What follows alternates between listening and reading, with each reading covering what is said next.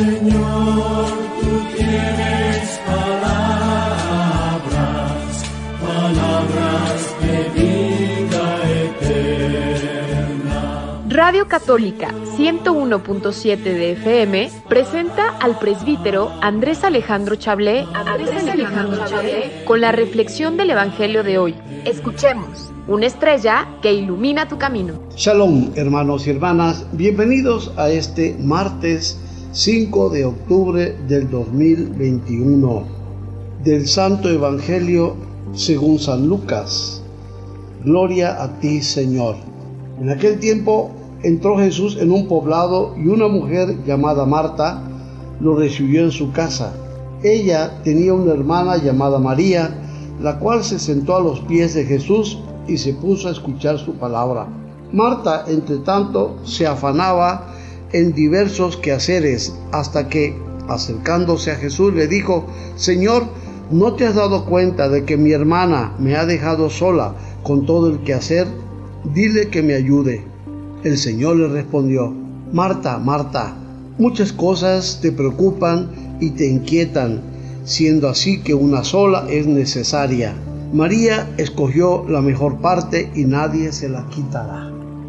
Palabra del Señor Gloria a ti, Señor Jesús. Hemos escuchado este pasaje del Evangelio de San Lucas, capítulo 10, versículo del 38 al 42.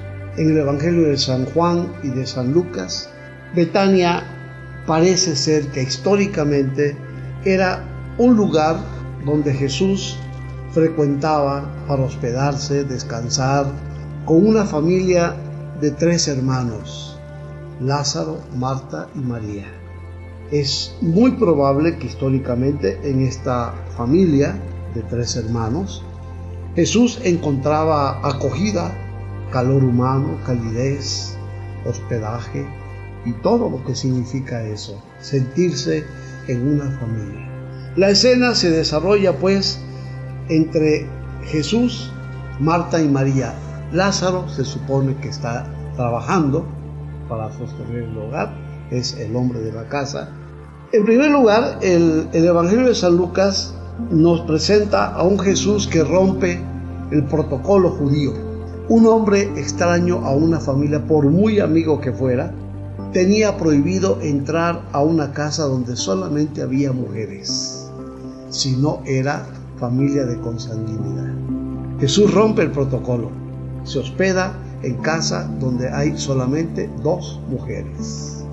En este sentido encontramos la familiaridad tan profunda que hay entre Jesús, Marta y María. Y esta familiaridad tiene que ver con la actitud de María, la hermana de Marta, que se queda a los pies de Jesús. En un primer momento, el Evangelio de San Lucas nos presenta a dos hermanas, una se va a la cocina, seguramente a prepararle alguna comida que le gustaba a Jesús. Y María se queda cumpliendo no solamente con el protocolo de la educación cuando se recibe en casa a un visitante, a un huésped. Alguien tiene que estar con esa persona en su casa, platicando con ella, no dejándola sola, aunque sea de mucha confianza. Lucas quiere señalar que la ruptura del protocolo de la costumbre judía de entrar a una casa donde solamente hay dos mujeres, que estaba prohibido por la ley, significa que la familiaridad de Jesús con Marta y María y Lázaro ha llegado al grado de lo que en otros evangelios y en Lucas mismo se manifiesta como la consanguinidad de Jesús en el discipulado. María toma la actitud de la discípula que está hincada a los pies de Jesús. En San Lucas, este gesto físico de estar a los pies del maestro es la típica postura del discípulo o la discípula que está escuchando la palabra del maestro. Recordemos, por ejemplo, el discípulo en el leproso curado, el samaritano, que regresa a darle gracias después de su curación y se postra ante Jesús para darle gracias por su curación. María Magdalena que se postra y se abraza a los pies de Jesús en el día de la resurrección, es la discípula, incluso ella le llama Rabún, maestro.